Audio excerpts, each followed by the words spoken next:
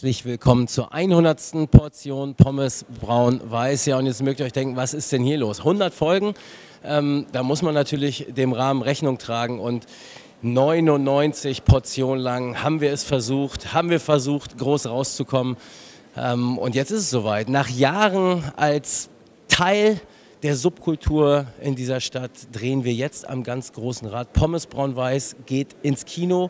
Heute Abend äh, zum Deutschen Tag des äh, Kurzfilms, so heißt es, glaube ich, läuft die Portion 97. Ich hatte letzte Woche ja schon einiges dazu gesagt. Tatsächlich hier in Altona im Zeise-Kino. Und es ist ja auch schon einiges los. Wir treten da gegen einige andere Kurzfilme an und ich äh, höre mich mal kurz um hier. Entschuldigung. Wer ist denn für Sie der Favorit heute Abend hier? Für den Film? Ähm, also wir waren gerade in Seven Psychos. Ach so, okay. Ähm, von Pommes Braun weiß schon mal was gehört, sicherlich, ne? Sagt Ihnen jetzt nichts.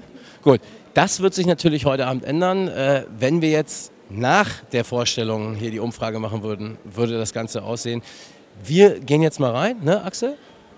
Gucken uns das Ganze mal an und äh, wissen auch, das gilt für uns, der zweite Platz ist natürlich der erste Verliererplatz. Germany's härtester Hooligan ist der schöne Titel des folgenden Films.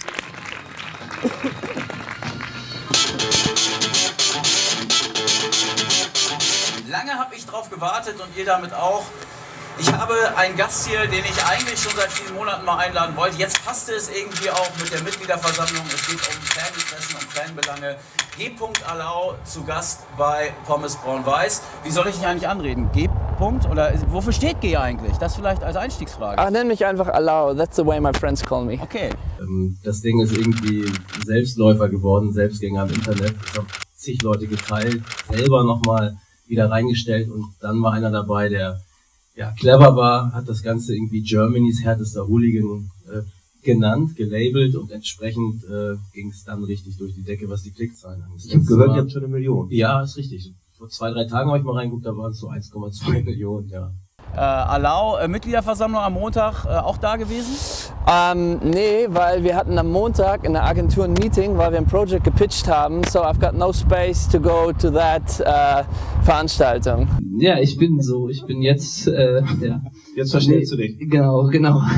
nee, es ist ja so, diese Figur des G. Allau, also es ist ja so, ich habe mit einem Journalisten Ole Zeisler den Fußballblog Doppelsechs zusammen und er kam dann irgendwann auf diese Idee, weil wir immer auf der Suche sind nach interessanten Figuren, die sich zum Fußball äußern. Und er kam dann auf die Idee des G. Allau, des Schanzenhipsters, der St. Pauli-Fan ist, ähm, und eben äh, mit seiner Werbeagentur in der Loge sitzt. Das ist ja jetzt auch nicht, Lutz wird das bestätigen können als Journalist, der viel mit sich mit dem FC St. Pauli äh, beschäftigt, dass das nicht so weit hergeholt ist. Und da hatte die Agentur immer Karten so und dann saßen wir in so einer Loge und was da stimmungsmäßig abging, habe ich vorher überhaupt noch nicht erlebt und seitdem hat das hat mich so gecatcht, dass ich teilweise da saß und dachte, OMG, was geht hier ab? Oh my God. Ja, ich muss dir noch was erzählen, das habe ich dir noch nicht erzählt, das kann ich vielleicht mal allen Leuten sagen. Ich war am Wochenende bei meinen Eltern im Emsland äh, und erzählte mein Bruder mir, dass er in Münster Leute gesehen habe, die äh, T-Shirts getragen haben mit OMG Amazing G. Doch. Ja. Ich weiß nicht, ob er mich verarscht hat, aber oder kann was? überzeugen. Mit dem Galau wahrscheinlich auch noch in der Hand, genau, ja. Ähm, aber sonst setze ich mich auch super gerne einfach mal total entspannt in einen Café irgendwie und trink was oder snack was. Das mache ich auch super gerne. Da, da tut natürlich auch immer das, das Kostüm eine ganze Sache Ja, für. das ist klar, Deswegen ist es zum Beispiel eine okay. skurrile Randerscheinung ist zum Ja. Beispiel, dass ich ein Angebot bekommen habe von einem ähm, Verlag für ein Hörbuch in der Figur. Äh, das ist natürlich etwas skurril. Was sagst du zu diesen Modefans? Das geht gar nicht. Ey, da sind manchmal Leute, wo ich denke, ey, OMG, OMG, it's fucker, it's soccer, so stand up. Und so sind wir irgendwann auf diese Figur gekommen. Und die gibt's halt bei uns schon seit anderthalb Jahren. Und irgendwann hat Lutz gefragt, lass uns doch hier was Kleines für Pommes Braun-Weiß machen. Und äh, klar, machen wir zehn Minuten. Und das war wirklich so, äh, dass Lutz gesagt hat, äh, wollen wir irgendwas absprechen? Dann meinte ich, nee, mach einfach, wir machen drauf los. So, und ich bin einer, ich bin einer im Stadion, ey, ich bin da mit 120 puren Emotion da, dabei. Mhm. So, und ich fighte das Team so nach vorne und dann schreie ich auch manchmal richtig rum. Mhm. Und wenn dann neben mir manchmal jemand sieht, wenn ich da jemanden sehe, der nur da sitzt und das Spiel guckt und so gar nicht dabei ist, dann sage ich, ey, fuck you.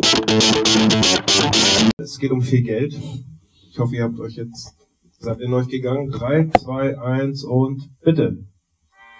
Okay, da gehen die Blöcke hoch. Wenn jetzt hohe Wertungen kommen, auch bitte einen kleinen Applaus oder einen kleinen Jubel, das kann man mal machen. 9,0 8,5, 8,0, 8,2 und noch eine 8,2.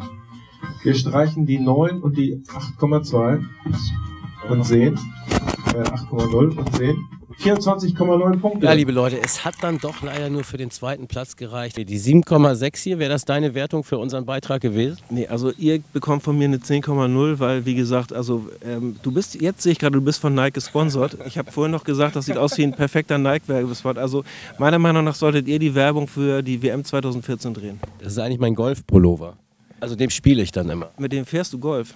Nee, ich fahre Porsche, aber ich spiele Golf. Ähm, dann würde ich sagen, wir treffen uns zum Polo. Da schließe ich mich jetzt nicht ganz an, äh, so ungefähr, aber ähm, möchte mich auch nochmal bedanken. Bei mir selber, bei dir, Axel, sowieso für 100 tolle Folgen, wie ich fand, Pommes Braun-Weiß. Nein, schön, dass ihr uns die Stange gehalten habt, dass ihr dabei geblieben seid. Äh, irgendwie werdet ihr ja auch immer mehr. Ähm, ich sage euch tatsächlich frohe Weihnachten und einen guten Rutsch. Ähm, ich brauche eine kleine Pause, vielleicht hört es der eine oder andere auch. Ich bin ja. etwas erkältet und wir sehen uns dann im neuen Jahr. Bis dann, macht's gut, ciao.